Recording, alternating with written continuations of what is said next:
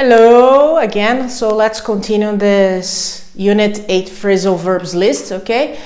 We saw 7 and now we are going to see the next 7, okay? So in our material, phrasal verb number 8. Put something off. The material says put something off. Decide or arrange to do something at a later time so it's similar to put something back, okay? It's so don't have panic. They are pretty much the same, okay? So repeating, arrange to do something at a later time. So I can't do this today. I need to put this off, okay? The question I have the, uh, here in the exercise is number eight. Why have you been putting off our dates lately? I would answer in this way I've been putting them off. I've been putting our dates off because I've been quite busy lately. Okay, so I've putting the dates off. That means uh, I can't today, so tomorrow, all right? And maybe tomorrow arrives and say, I can't again. Can it be the day after? Okay. Phrasal verb 9. Put something forward. Okay. Uh, the explanation from our material.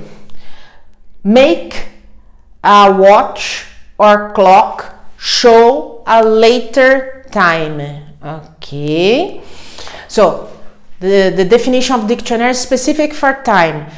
So are going to put forward the time. So if it is three o'clock now later time one hour later four. So i'm going to put forward the clock in one hour okay so it's to put for later, specifically the time, the clock.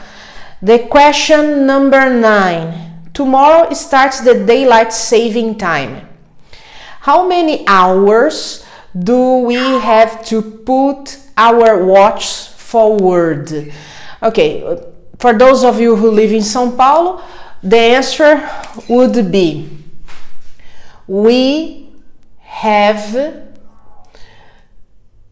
sorry students, had, we have to put our watches forward one hour. Okay? So we have to put the, the time, the device forward one hour. So one more hour, okay? Specific for time, students. Number 10, put out something. The material says to be annoyed often because of some, something that somebody has done or said to you. So to put out, it's a feeling okay uh, i'm put out that means i'm annoyed okay? I'm annoyed. Something happened. So i've been put out. I'm annoyed. Uh, the question i'm so put out i'm so annoyed okay? Irritated. Those kids keep bullying me. What should i do okay? Uh, so i'm annoyed. I'm I am put out. So what should I do is the question, okay? You should tell your parents that you've been put out because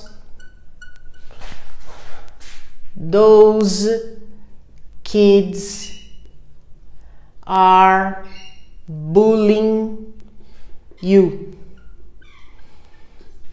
Okay, so you've been put out, you've become annoyed. Phrasal verb 11, put up with somebody or something. The material says, uh, phrasal verb 11, to tolerate unpleasant behavior or an unpleasant situation, even though you do not, do not like it. So the word is very similar to Portuguese. So put up with a person, you tolerate the person. So that means you dislike, but you tolerate.